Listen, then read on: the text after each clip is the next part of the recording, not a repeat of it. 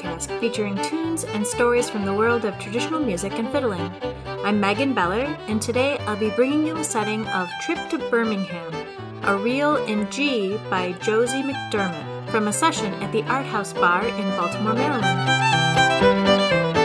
Hello, everyone. I hope you are well. Today I'm going to address the topic why read music? I've been working on a course for learning to read music. Boy, there's a lot you can teach in the realm of music theory. I'm having to kind of restrain myself and limit myself to trying to identify the best way to teach basically functional music reading that would be helpful for fiddlers. Because the goal is just to take you from not being able to read music or having very little comfort to having it be helpful for you. Picking out tunes, learning tunes, that you can do that without the numbers written in.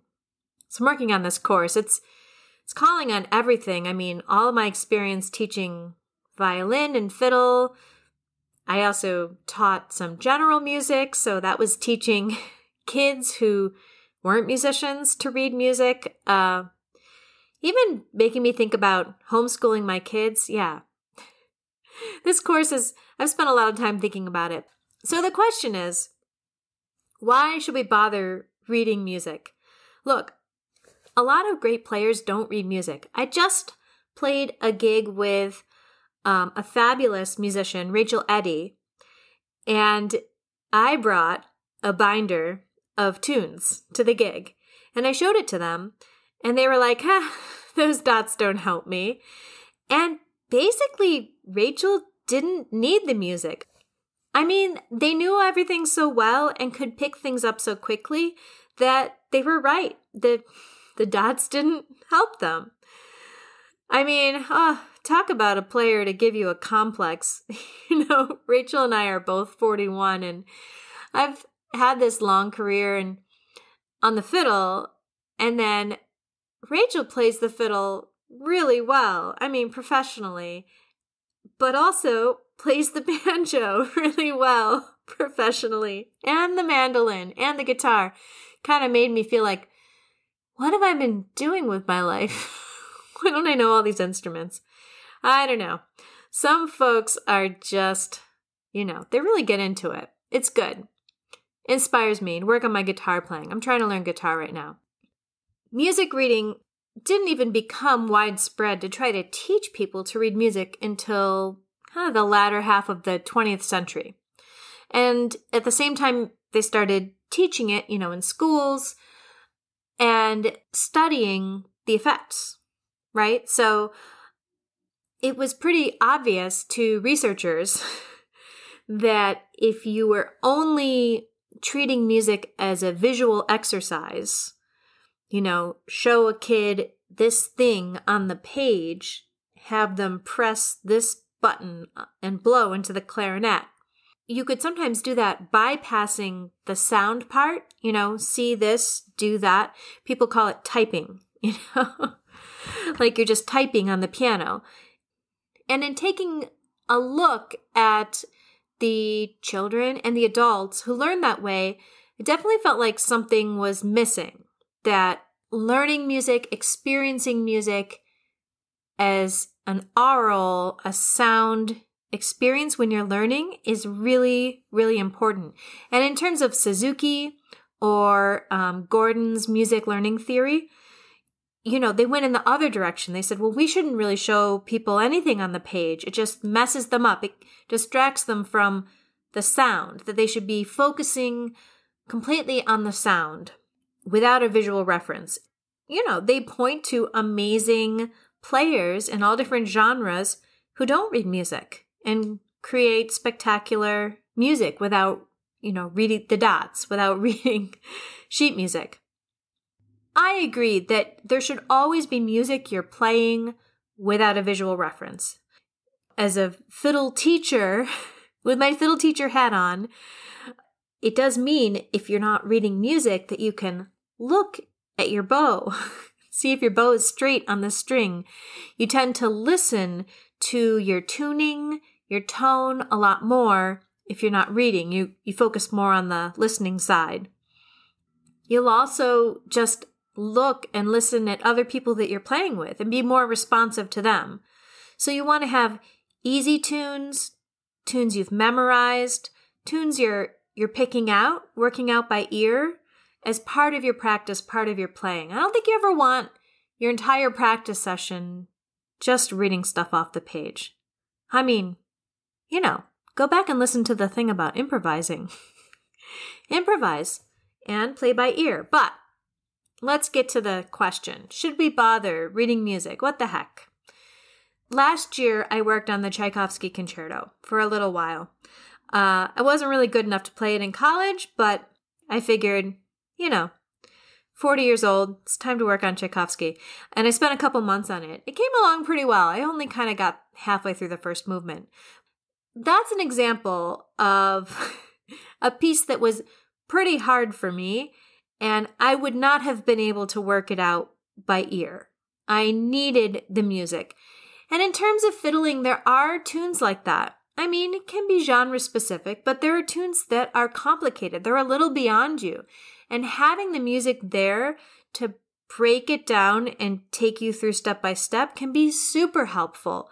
Um, you know, a tune like Catharsis, a tune like Gravel Walk, or showy tunes, bluegrass tunes. Yes, you could work it out by ear over the process of a really long time, but there's a little shortcut there. Read the music. Reading music helps us tackle music that we can't hear. I mean, these days, it's much easier to access recordings. There were a lot of times when you might have a book of music, but not a recording to go with it. So the only way to see what the music sounded like was to read it and play it. And then you would know what it sounds like. Written music is a shared language. It's a way to get very specific, especially with complicated music, so that you can talk about, well, you know, in the second section, in the 10th bar, we're going to do this, or it's this note. If it wasn't written down, it would be much harder to have that shared language. I mean, I've played in orchestras, so you really need it. You need a way to to talk the more complicated the music, the easier it is to have a shared language to discuss it and describe it. Some of us are just very visual. I'm a pretty visual person. I find it helpful to have a visual reference. I've definitely taught um, a lot of students with differences in their hearing ability, their memory, their attention, their processing. Some of them just have a much easier time with reading. And if it wasn't there for them, they might not play, they might not enjoy their playing. I think reading music is a window into what other people have thought up and created and written down. Just like reading language is a window into what other people have made up and written down. So you're not just walking around with your thoughts all day or what people say to you. You can open up a book and and find out like what did he think about that? What what did she what does she have to say about that? You can read that in a book. Whereas if you couldn't read, you wouldn't have access to that. And with music, the way that we write down and read music comes out of a European tradition. So some of the window is just into that tradition, that classical music, but because it has become very widespread, it's used in a lot more genres now.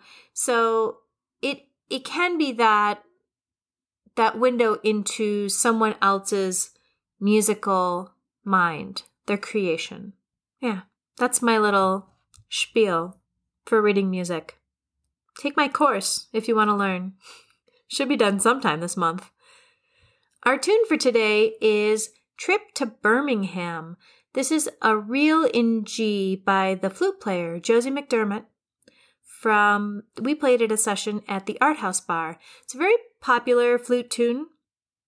It was recorded by a well-known flute player, Matt Molloy, on his first album. He just called it Josie McDermott's, but apparently Josie called it Trip to Birmingham. So, when I talk about flute, I'm talking about wooden flutes, traditional Irish wooden flute. It sometimes has no keys, sometimes it has some keying, which helps you play in some different keys and get a few more notes. Uh, my husband Charlie plays this flute. He started just on the kind of PVC pipe flute with holes drilled in it. Um, now he has a keyed wooden flute. And Josie McDermott was a very highly regarded flute player out of the Sligo tradition, born in 1925 in County Sligo. I learned a lot about Josie from an interview on YouTube. You can go on YouTube, look for Josie McDermott, and uh, there was a TV show made about Josie that was partly in the Irish language, and it had a lot of tunes, including this tune, and it was fascinating. I really enjoyed it. Josie had very poor eyesight and for most of his later life was completely blind. Friends said he could see the difference between lighter and darker, and that was it. He was known for being a really helpful person, never wanting to be a burden, and was very famous for his flute playing. He was also, um, I'm told, quite particular about playing the tunes correctly and not changing the tunes. So they they had a clip of him talking about this in the show that I watched about him. And he said, he's sort of talking about younger players. And he says, if you want to play around with tunes, compose your own tune, but don't, you know, don't change this old stuff. Leave that, or it's going to be lost if you keep changing it. He was, he was known for being particular about getting the tune exactly right, both with himself and with his, his students and the people he played with. The story about this tune, Trip to Birmingham, is uh, I guess he went to Birmingham pretty often to play um, with Comhaltas there. And he was on a plane uh, on his way to a dinner, and the plane was diverted because of fog. Had to land in London, fog in England, who knew? And he got on a taxi to Birmingham, and while he was in the taxi, he composed this tune, called it Trip to Birmingham. So it's a pretty well known tune. We're going to play it for you by Josie McDermott.